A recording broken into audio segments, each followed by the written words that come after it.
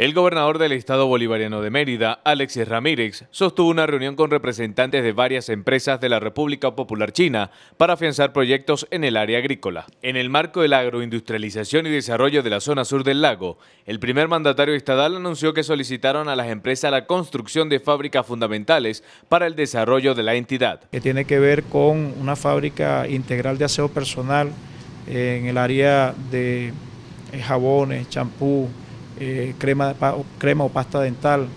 Eh, igualmente también hemos solicitado una planta de harina precocida.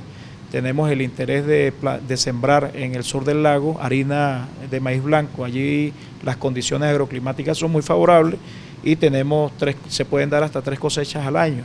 Por su parte, los representantes asiáticos manifestaron que quieren ayudar al país con el desarrollo agrícola y que están motivados a colocar toda su experiencia en el Estado Mérida. Hoy tenemos una reunión con el ah, cooperador sobre la cooperación de cultivar arroz.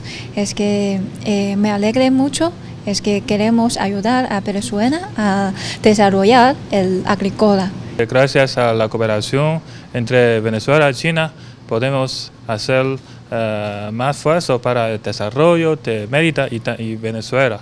Dijeron que están dispuestos a trabajar de la mano con el gobierno regional para tener un Estado productivo y de una vez por todas acabar con la guerra no convencional. Desde Prensa Gobernación Mérida les reportó Gilson Rojas.